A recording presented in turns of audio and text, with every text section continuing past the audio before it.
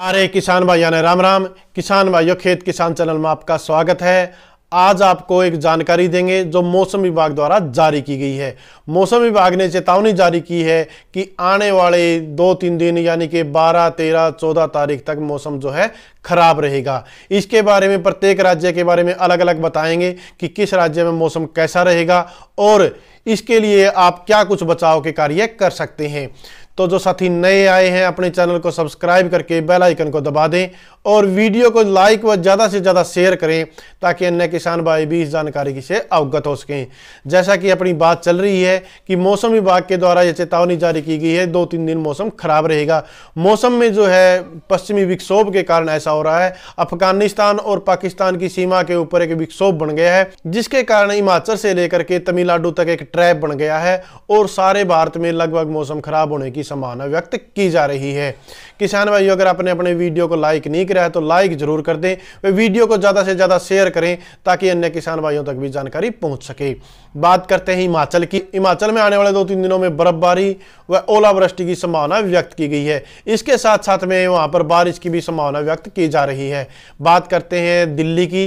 तो दिल्ली में पहले बारिश हो रही है और आगे भी इसके दो तीन दिन तक जारी रहने की संभावना है कि आगे भी बारिश होती रहेगी। इसके बाद हरियाणा, पंजाब, इनमें भी बारिश और ओलावृष्टि की संभावना व्यक्त की गई है। किसान भाइयों, ओलावृष्टि के ऊपर हमने पहले भी एक वीडियो डाला था, जिसमें हमने बताया था कि अगर कहीं ओलावृष्टि हो गई है तो किसान भाई अपनी फ़सल की गिरदावरी के लिए प्रयास करें, क्योंकि बहत्तर घंटे तक आप अपनी फ़सल की वहाँ पर रिपोर्ट दे सकते हैं कि हमारी फ़सल खराब हो गई है और उसकी गिरदावरी कराएँ। आप ज़्यादा जानकारी के लिए अपना पिछला वीडियो देख सकते हैं।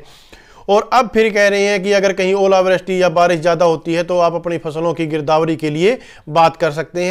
इसके लिए यूपी में एक नंबर जारी किया गया है, जो मैं आपको बता देता हूँ, one eight double zero, one eight zero nine zero nine zero nine zero, यानी कि एक आठ ज़ीरो ज़ीरो, एक आठ ज़ीरो नौ ज़ीरो नौ ज़ीरो नौ ज़ीरो, यानी कि अठारह सौ, एक सौ अस्सी, नब्बे नब्बे नब्बे। इसमें जो है किसान भाई अपनी आप शिकायत दर्ज करा सकते हैं। अब बात करते हैं पश्चिमी उत्तर प्रदेश की।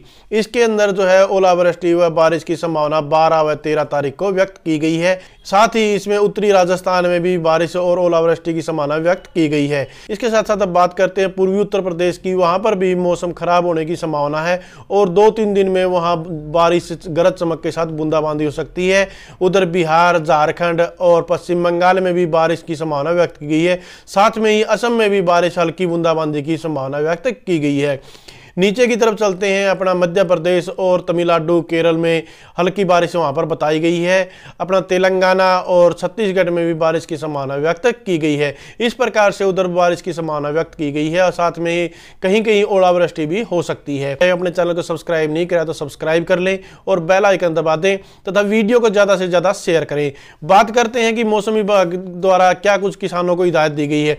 इसमें अगर बारिश होती है तो ज़्यादा तो आप कुछ नहीं कर सकते, लेकिन इसमें आप ये कर सकते हैं कि अपनी फ़सलों को बचाव के लिए पानी उतार सकते हैं। अभी एक दो दिन पहले ही बारिश हुई थी, उसमें फ़सलों में पानी अभी तक खड़ा है। तो पानी अगर ज़्यादा देर खड़ा रहेगा तो वैज्ञानिकों का कहना है कि इससे आपकी फ़सल खराब होगी और उसकी रंग भी काला हो सकता है, तथा तो साथ में इसकी औसत पैदावार में भी गिरावट आएगी। आप अपनी फ़सलों का पानी उतारने की कोशिश करें। अगर आपका खेत ऊँचा है तो आप नीचे में पानी उतारें। अगर नीचा है तो आप ट्यूबवेल वगैरह में पानी उसका उतार सकते हैं। तो इस प्रकार से किसान भाइयों, आप अपनी फ़सलों के बचाव के लिए प्रयास करें। साथ में अगर कहीं कोई ओलावृष्टि वगैरह होती है, अधिकारी हैं, उनको जाकर के अपनी फ़सल की रिपोर्ट दर्ज कराएँ कि हमारी फ़सल में इस प्रकार से नुकसान हुआ है, आप जाकर के गिरदावरी करें। तो इस प्रकार छोटी सी जानकारी थी। किसान भाइयों, उम्मीद करते हैं आपको पसंद आई होगी। अपने चैनल को सब्सक्राइब करके बेल आइकन को दबाएँ, वीडियो को लाइक करके ज़्यादा से ज़्यादा शेयर करें। धन्यवाद किसान भाइयों। जय हिंद। राम राम। जय जवान। जय किसान।